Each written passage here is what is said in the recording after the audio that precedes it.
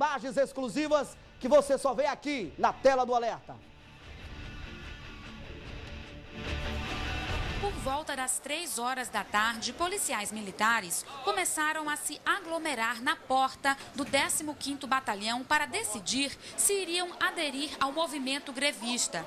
Antes mesmo da decisão ser tomada, o clima de insegurança e medo se espalhou pelas ruas de Tabuna.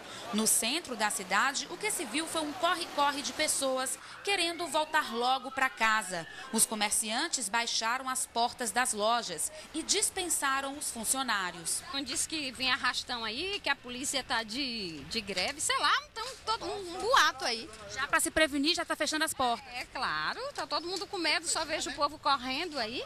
Vai fechar a loja e vai para casa. É, eu vou para casa dormir, né? Fazer o quê?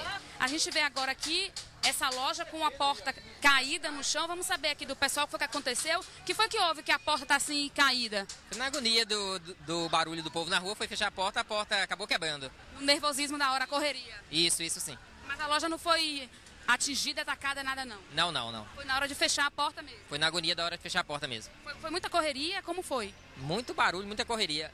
Todo mundo com medo? Muito medo. Você vai falar que se chegou a ter arrastão mesmo ou não?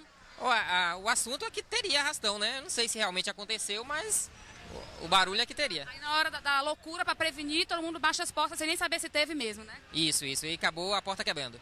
No meio do tumulto, algumas pessoas contavam que houve tiroteio e outras diziam que aconteceram arrastões. Vocês também aqui já estão fechando a loja? Ó, os clientes estão saindo aqui agora e o pessoal está com pressa, abaixando a porta. Por que estão fechando? Rapaz, falaram do rastão que estava vindo aí. Os vagabundos passou tudo aqui correndo, desesperado, com arma, armado.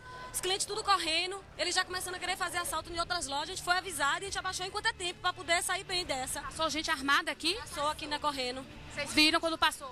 Viu. Os funcionários que estavam aqui na porta me avisaram a tempo, aí foi que a gente correu para fechar a loja. Aí a melhor opção é fechar tudo. Fechar, lógico, enquanto é tempo. É melhor salvar enquanto depois, principalmente nas vidas da gente, né? Que vale mais. Já desceram um bocado de, é, na moto. Desceram em moto, faz uns seis ou sete entraram ali.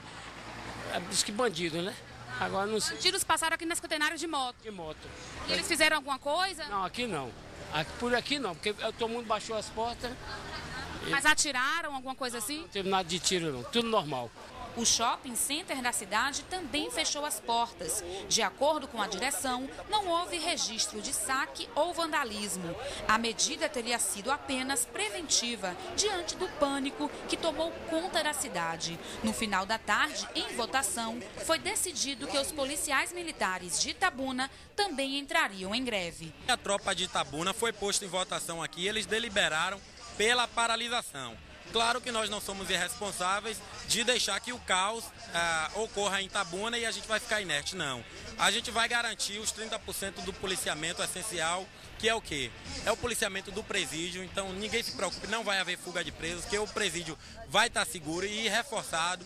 As companhias de polícia serão reforçadas, porque a gente sabe que tem armamento, tem material bélico, vai ser garantido.